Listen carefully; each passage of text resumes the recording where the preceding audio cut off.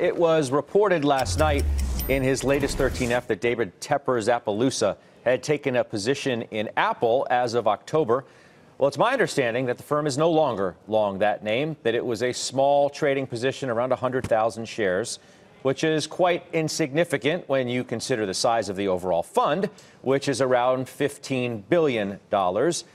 Yet another reminder why investors need to be careful about how all of you read those 13 Fs and what action, if any, you take.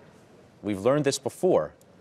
These 13 Fs, Jim, don't always tell the story about where we are today. I appreciate your giving that public service announcement in the tone that you just did, slowly so people could understand it. It's so true.